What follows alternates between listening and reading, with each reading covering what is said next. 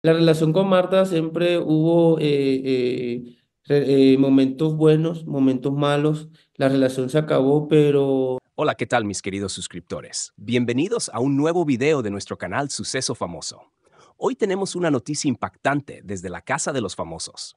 Pantera se quiebra. Suplica perdón a Marta Isabel Bolaños en un giro que nadie esperaba. ¿Qué llevó a Pantera a este punto en la Casa de los Famosos? Manténganse con nosotros para revelar todos los detalles.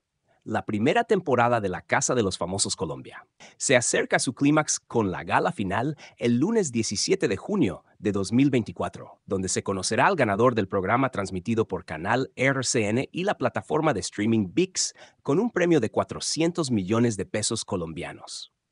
Entre los 22 famosos que ingresaron el 11 de febrero, Kevin Fuentes, conocido como Pantera, alcanzó la sexta posición antes de su reciente eliminación.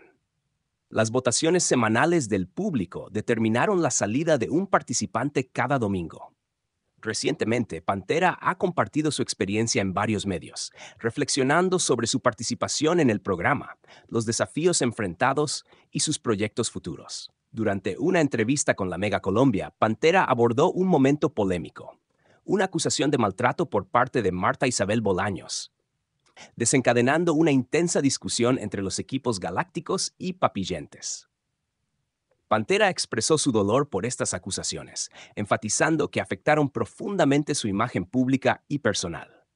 Insistió en que su relación con Bolaños había sido de respeto y amistad, lamentando las consecuencias de esta acusación.